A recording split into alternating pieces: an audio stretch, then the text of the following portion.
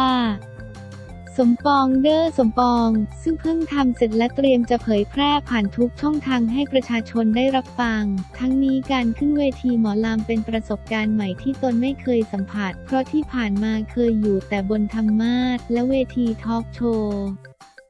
เมื่อมาเจอเวทีขนาดใหญ่ก็มีความตื่นเต้น แต่เมื่อเจอศิลปินในคณะหมอลำสาวน้อยเพชรบ้านแพงที่ให้กำลังใจก็รู้สึกดีขึ้น และรู้สึกสนุกถือเป็นการได้มาเรียนรู้เพราะในอนาคตจะมีธุรกิจในเครือแม่ปองที่จะมีงานบันเทิงทั้งค่ายเพลง แม่ปองฮักไหมิวสิกงานรถแห่และรับทีมงานผลิตผลงานเพลงนักร้องนักแสดงผลิตรายการและทำสำนักข่าว พื่อสร้างงานสร้างอาชีพให้กับคนที่มีใจรักในแนวทางนี้ และเป็นพื้นที่สำหรับคนรุ่นใหม่ที่โชว์ผลงาน แต่ที่จะโฟกัสเป็นหลักคืองานขายสินค้า ซึ่งจะมีผลิตภัณฑ์ในเครือแม่ปองออกมาจำหน่ายอีกหลายรูปแบบ ส่วนงานแสดงต่างๆ ซึ่งที่ผ่านมามีผู้ใหญ่ใจดีติดต่อทาบทำไว้แล้ว ไม่ว่าจะเป็นพี่หม่ำจกมกที่ติดต่อโปรเจกต์งานแสดงหนังร่วมกับไพรวันวรรณบุตร หรืออดีต พระมหาไพรวันวรวนโนมีงานละคร และรายการตลกกับทีมก่อนบ่ายคลายเครียดเป็นต้น ซึ่งก็ถือเป็นโอกาสที่จะได้พัฒนาตนเอง และถือเป็นโชคดีที่ตนมีผู้อุปถัมภ์ค้ำชู มอบสิ่งดีๆ เข้ามาในชีวิต ซึ่งตนตั้งเป้าว่าจะตัดรายได้สิบ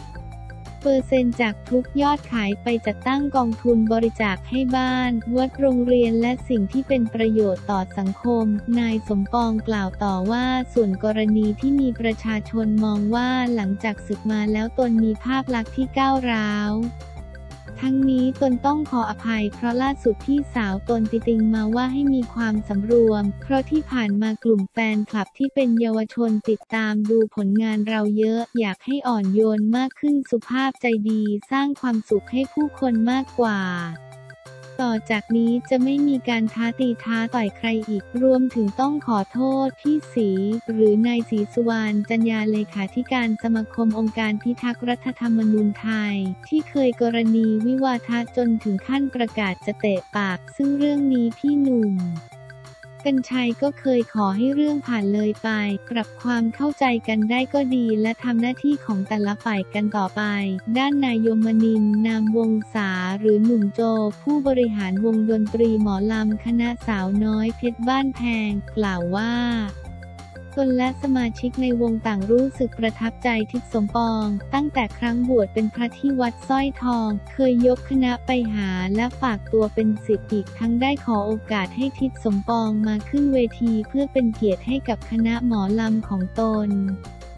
ซึ่งเมื่อท่านได้ศึกออกมาจึงลองโทรไปพูดคุยและลองชวนมาขึ้นเวทีหมอลำโชว์ออนไลน์ ซึ่งท่านก็จำได้และรับปากว่าจะมาร่วมแสดงหมอลำเพื่อสร้างสีสันให้กับวง ทั้งนี้ทางวงเพิ่งกลับมาเปิดให้แสดงได้เพียงหนึ่ง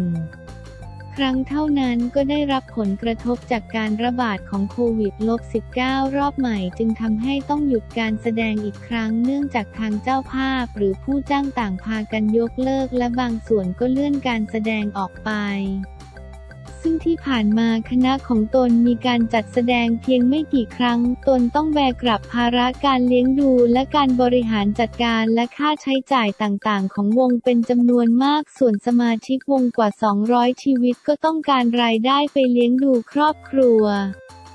ก็กัดฟันสู้ต่อมา เพราะหวังว่าในอนาคตทั้งวงจะได้กลับมาแสดงเป็นปกติอีกครั้งและพบปะแฟนเพลงจากทั่วประเทศได้ดังเดิม แม้การระบาดของโควิด -19 จะเพิ่มสูงขึ้นในหลายพื้นที่ต้องยอมรับว่ามีผลกระทบเป็นอย่างยิ่ง ต้นจึงอยากจะขอฝากถึงผู้มีส่วนเกี่ยวข้องหรือผู้รับผิดชอบมีอำนาจหน้าที่โดยตรงช่วยหาทางออก ทั้งนี้แม้ปัจจุบันทางวงจะปรับตัวด้วยการจัดการแสดงผ่านออนไลน์ และได้รับการสนับสนุนจากสมาชิกทั้งทางแฟนเพจและทาง YouTube แต่ก็ยังสู้การจัดแสดงเหมือนแต่ก่อนได้ จึงต้องรอคอยให้สถานการณ์โรคระบาดเบาบาง หรือจบลงโดยเร็ว เพื่อจะได้กลับมาแสดงและหารายได้อักครั้ง ทั้งนี้คณะหมอลำสาวน้อยเพชรบ้านแพงก่อตั้งโดยนายสงกรานนำวงศาซึ่งเป็นอดีตเป็นดาวตลกคณะอ่อนตาพัฒนาลำเพลินต่อมาแยกตัวมาตั้งวงใหม่ชื่อวงหมอลำคณะสาวน้อยมิตรบ้านแพง เริ่มต้นมีนักแสดง 40 คน ออกเดินสายแสดงหมอลำในแถบภาคอีสาน ต่อมาทางคณะเปลี่ยนชื่อเป็นหมอลำคณะสาวน้อยพิษบ้านแพงมีเอกลักษณ์ในการแสดงหมอลำเพลินที่คึกคักร้าใจ สร้างชื่อเสียงเรื่อยมาจนเป็นที่รู้จักกันในระดับประเทศจนในปี 2532 ได้รับรางวัลโลกพระราชทานและรางวัลเกียรติยศมากมาย ปัจจุบันมีนายโยมนินนามวงศาหรือหนุ่มโจเป็นผู้บริหารมีนักแสดงที่ได้รับความนิยมอาทิแอนอรดี วัดศิวดลเข็มกมลชัยปันปันเพชรบ้านแพงสุสายใหญ่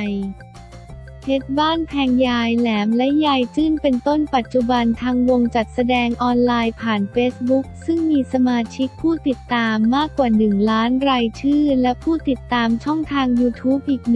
1.31 ล้านราย ซึ่งถือเป็นคณะหมอลำที่ประชาชนนิยม